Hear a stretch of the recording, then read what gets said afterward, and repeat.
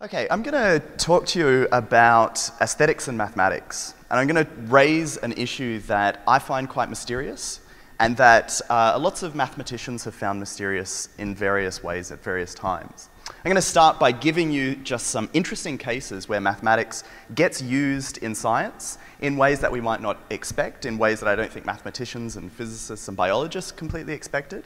And then I'll try and isolate why I think this is mysterious, what I think might be going on here, why I think there's something to talk about, and then I'll try and say some radical things at the end.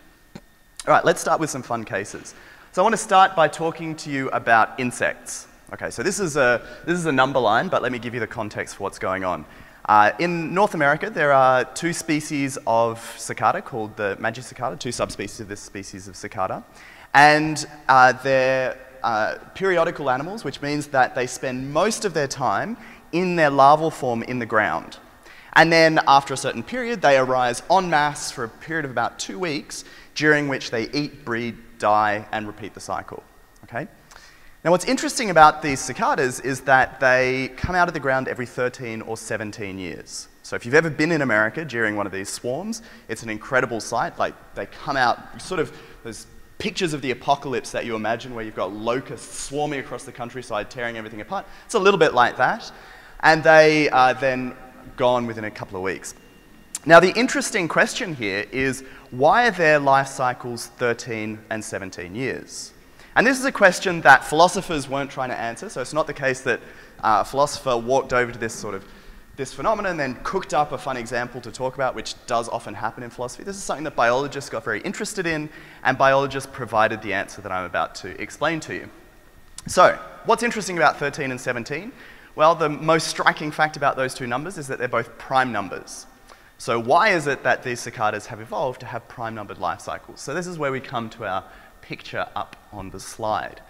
So, imagine that you're being predated by an organism that is also periodical right? So it spends lots of its time in the ground, and then it comes out of the ground every so often, and it attacks you, eats you, and then goes back into the ground. You want to come out of the ground when your predator is lying dormant, okay? Now imagine that you have a 12-year life cycle. If you have a 12-year life cycle, then you're going to overlap with predators that have two-year life cycles three year life cycles, four year life cycles, six year life cycles, and indeed 12 and 1 as well, but we'll set those aside because they're not super important. What matters is that if you're here, then you're going to overlap with those four different types of predator. Okay? If you have an eight year life cycle, then you're going to overlap with predators at 2, 4, 8, 14 year life cycle, 2, 7, 14, 1.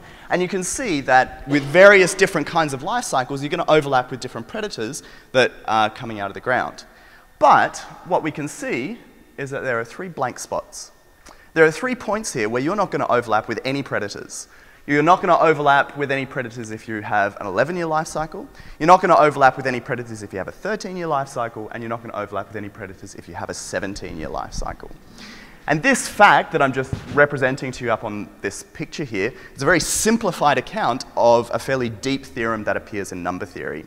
And so what we can see is that, in some sense, these cicadas are evolving to exploit some fact about number theory, about mathematics, about the nature of primes, that we have, in the grand scheme of things, only relatively recently discovered to be a fact. Now, there's a question here as to why we don't see any 11-year life cycled uh, cicadas. Uh, and there's also an interesting point that in, a, in Australia we have a periodical cicada, the greengrocer cicada, which has a seven-year life cycle, which is another prime. The reason uh, biologists put forward for thinking we don't have these sorts of 7 and 11 cases in America is to do with other constraints on cicadas about nutrients in the soil and things like that that sort of force their life cycle into a particular window. And then once that they're in that window, they pick these optimal strategies of 13 and 17. Okay, so that's the first case. We've got these prime numbers, these prime numbered life cycles, and it looks like the cicadas are using some fairly sophisticated mathematics. Of course, cicadas are not doing math, they're not crunching number theory, but nonetheless, there's something striking about what's going on here. Let's have a look at another case. My favorite case, if we can get to it. Honeybees. Okay. So think about hive honeybees. Hive bees have hexagonal honeycomb. Question, why is it that the uh, honeycomb structure of a hive for a hive bee is hexagonal and not some other shape? Why not squares? Why not circles? Why not triangles? Think of your favorite regular or irregular polygon. Why are bees exploiting hexagons and not something else? Now, it was conjectured in very ancient times, two, three, four thousand years ago, that uh, hexagons are the optimal way to divide up a two-dimensional surface. So if you've got a two-dimensional surface and you want to divide it up into cells that have, where each cell has the greatest area with the least total perimeter, then hexagons are the optimal shape to use for that purpose. That, that was a conjecture in ancient times and it was proved in 2001, right? So only, only uh, 16 years ago did we actually prove that hexagons are in fact the optimal shape here. Right, so again, it looks like these honeybees are exploiting a fairly sophisticated fact about mathematics. It's it really quite hard to prove. It required, like we couldn't do it in the sort of Euclidean geometry that this, this fact is actually situated in. We had to arise out of a different area of mathematics and run the proof through different arms in order to get back to this fact about the optimality of hexagons. And so it was very hard for us to prove, and we've got this interesting fact where bees are sort of evolving to exploit this, right? So if you want to be the best bee that you can be, and you want to build the biggest nectar storing cells you can with the least expenditure uh, in producing wax, which is going to take energy, then what you should do is you should use hexagons, right? So that's why we don't see any circular hives or square hives or triangular hives. We only see these hexagons. All right, third case. This is a case, uh, the, this is a case that's slightly different to the last two cases in that, in, in a couple of ways. One way is that the mathematics here is much more complicated than the last two cases, but it's also interesting in that in the last two cases, we started with a biological fact, and then we did some work in mathematics and biology in order to explain that fact, right? So we sort of started with a mystery in the world, and then we did some mathematics to explain it. In this second case, we had some mathematicians tinkering with some stuff over in mathematics land, and they made a prediction for the biologist and said, now go and test that. And the biologists did, and they worked out that, in fact, the prediction that the mathematics had given them was confirmed. So here's the case. Uh, if, suppose that you're an open sea predator. I just want you to imagine being in the open ocean, you're navigating your way around. Here's something about the open ocean. The open ocean is very, very food scarce. There's not a lot of food in the open ocean. If you're uh, an organism in the open ocean, then you're going to have to use some kind of foraging tactic to find food in a very difficult scenario. And so, what kind of tactic should you use? Lots of ways that you could try and find food and we've got to try and work out the best way. And it turns out that certain kinds of random foraging tactics are what you want to exploit. So you want to try and move around at random to try and find food, and that's how you're going to find food in the open ocean. But it turns out that there are better and worse ways to move around at random. Right? So one way that you can move around at random is like a particle inside a gas chamber, which is to just sort of do like tiny little concentric circles like this. Right? Another way that you can move around, around at random, which is what I've got a picture up of here, is to do what's called a Lévy flight. And in a Lévy flight, you sort of go off in a direction for a while, you stop, then you do lots of little concentric circles, then you go off in another direction, you stop, you do lots of little concentric movements, and so on. You, you have these sort of long trajectories interspersed with these little clustered motions. Now, mathematicians proved, there's a, there's a, a very complex proof that shows you that the best way to find food in a, in a prey scarce environment is to do the second kind of random motion rather than the first kind of random motion. Right? And up to the point at which mathematicians have proved this, no one really had any sense that organisms might even be looking for food in this way, because the standard kind of random motion, the first kind, is, this, is the kind of random motion you might expect organisms to be doing. Then there was this massive study carried out by biologists with over a million data points where they tagged, tagged sailfish, um, billfish, sharks, penguins, turtles, all these kinds of open sea predators. And they did very complex modeling and they discovered that they move in exactly the way that was predicted by the mathematics. So here's a case where we've solved something in mathematics just because we were working in mathematics, and that's what you do. You just solve things for fun. And then over here, it turns out that we've got this direct application out into uh, biology where we get this really quite robust and profound prediction getting confirmed. All right, so those are the three cases. That's to just warm you up for thinking that there's something odd here. Now let's, let's, try, and, let's try and make this mysterious. How do you do mathematics? Well, one of the things that you do in mathematics, one of the sorts of driving uh, aspects of mathematical practice, is something like aesthetics. Mathematicians are driven by aesthetic considerations. They use concepts like simplicity, elegance, harmony, balance to direct mathematical research and to prove mathematical results. right? So you've got, you've got mathematicians using these kinds of aesthetic characteristics to drive their practice, and then you find out that in virtue of doing some things over in mathematics land driven by aesthetic practices, you end up finding out deep things about nature. And that's where I think the mystery here lies. You've got mathematicians doing what mathematicians do best for aesthetic reasons, and then you've got some uh, implications out here for the natural world. And I think the mystery here is well, how is it that by producing art, in some sense of art, we can find out these deep facts about the natural world? Is it the case that nature itself is some kind of aesthetically driven thing that, the, that it therefore makes sense to use aesthetic qualities to probe? Or is there something else going on? Is there some other kind of explanation as to how this works? So there's a great book by a number theorist, the number theorist Hardy, one of the great number theorists of the last century, called A Mathematician's Apology. And in that book, he, this, is, this is sort of before there are a range of applications for number theory, like the one I've just described to you. This is about the 50s and 60s, where he spent his life doing number theory and he spent his life training other people to do number theory. And he sits down at the end of his life and he says, All right, well, why, why should I have done this? What, what is the justification for carrying out this kind of practice, for doing number theory. And he said, Look, I haven't produced anything useful, but what I've done is produce some really beautiful things. And that is the reason for doing number theory. Right? So you've got mathematicians sort of right out, th- right out there wearing on their face this idea that mathematics is sort of not just driven by aesthetic considerations, but reasonable to do because of the aesthetic considerations that you actually pull out of it, because of the production of art in some sense. Now, of course, I don't want to make any strong claims here, like mathematics is just art or anything like that. All I'm trying to draw your attention to is this link between mathematics and the aesthetics that drives what's going on in mathematics that then enables us to find things out about the natural world. Okay, so it's clear, I think, from the kinds of th- examples that I've looked at so far, that we're talking about very particular kinds of aesthetic considerations. So we have to be careful about how we think about the relationship here between art and mathematics. We don't want to make something like the following claim all of the things that artists do are things that mathematicians do, at least in the aesthetic sense, or vice versa. We don't want to think that every, every sort of aesthetic quality that you're interested in art is one that you're interested in mathematics, or every kind of aesthetic quality you're interested in mathematics is one that you're interested in art. Nonetheless, there's a something weaker in the neighborhood, which is that some of the qualities that artists are interested in, some of them the qualities that they seek to produce that induce some kind of aesthetic response in us, are the same kinds of qualities that mathematicians are tracking when they're doing art. So here's an example where symmetry is one of the founding aesthetic qualities of the image. Right? There are also other things going on, but Escher was quite fond of symmetry and harmony and balance and those sorts of properties. And this, this aesthetic quality, this notion of symmetry, is also something that is highly sought after in a lot of mathematics. In fact, some branches of mathematics are all about finding symmetries. Or if you want another case, Mona Lisa.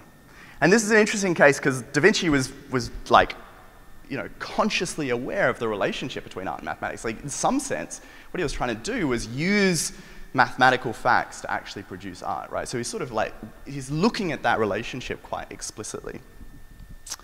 Okay, so we've got this question how is it that we can find things out about the natural world by looking at aesthetic qualities? There's something somewhat mysterious about this. Now, I'm going to look at two questions that feed into this topic that can either make it seem more mysterious or make it seem less mysterious, depending on which way you go.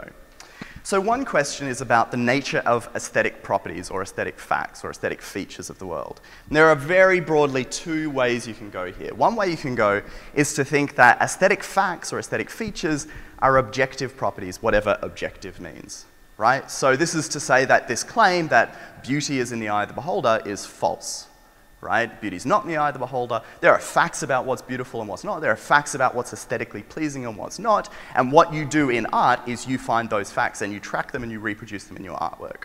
Okay? So that's the sort of on the objective side of aesthetics.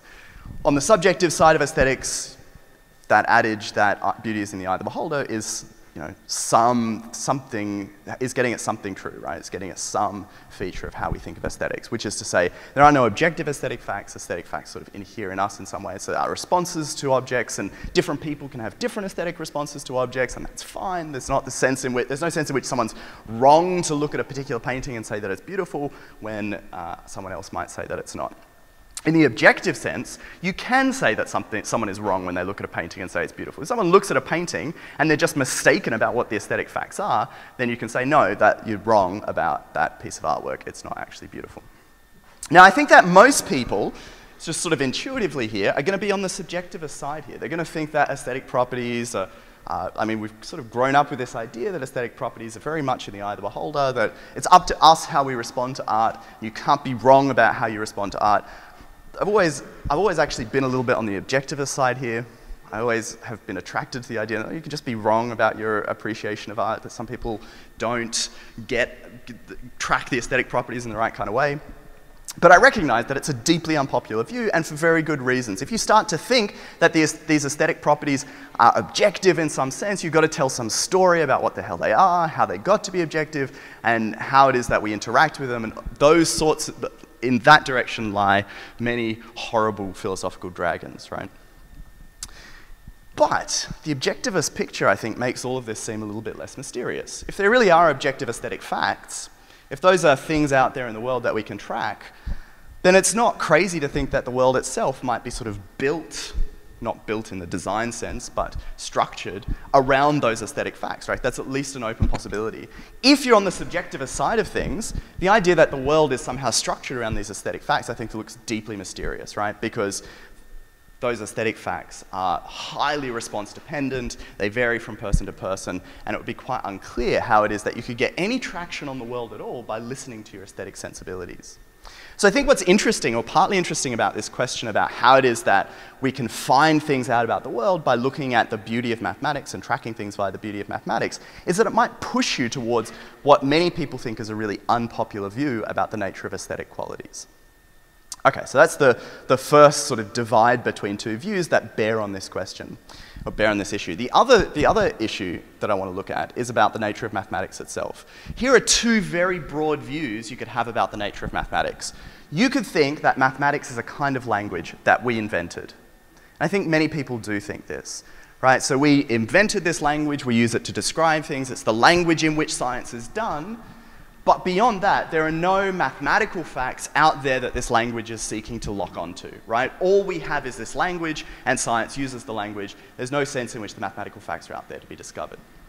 On the other side, you've got a view that is sort of associated with people like Plato in ancient times, the idea that mathematical facts are out there, and that our language, our mathematical language, is not just a language. What it is, is it's a descriptive framework for describing these kinds of facts, right? So it's more than just a linguistic device. It's actually a method of representing objective mathematical facts about the world. Interesting, ask a mathematician which way they fall on this. Lots of mathematicians are going to fall on the objective side. And you ask them why, and they're going to say, well, I'm discovering things. Right? I'm not making them up which is what you would do if, if it was a language, it was just some kind of constructive language, I'm actually discovering these things. And that discovery locution, talking about this in terms of discovery, leads very much away from thinking of mathematics as a language. If we think that mathematics is, is a kind of language, I think it makes the use of mathematics in science actually more mysterious rather than less mysterious. Because we invented this language. We make the choices about how this language operates, about how it works, we set the rules, and then we find out that it gives us deep insights into, about, into the nature of reality. Find me another language that has this capacity, right? It's not the case that by just sort of looking at English, at the structure of English, we can work out deep facts about the nature of reality, or at least it's not obvious that we can do that. Whereas it seems that by just looking at the structure of mathematics, we can find out these deep facts about the nature of reality. So I think if mathematics is just merely a language, it makes this relationship between mathematics and the world, things like the cicadas, the honeybees, actually much harder to understand. So that's going to push you towards another unpopular view, this idea that these mathematical facts are out there, that they're there to be discovered. Okay, so let me just sort of summarize what we've had a look at so far. I started with these interesting cases. We've got this case of the cicadas. They've got 13 and 17 year life cycles. Why do they have those life cycles and not some other? Well, it seems to have something to do with the number theoretic properties of primes and the way that primes factorize. Why do honeybees produce hexagonal honeycomb? Because of facts about Euclidean geometry that we've only proved relatively recently. Why do sharks move the way that they do? Because of a fairly hefty result in, in uh, mathematics of probability involving probability distributions around random walking.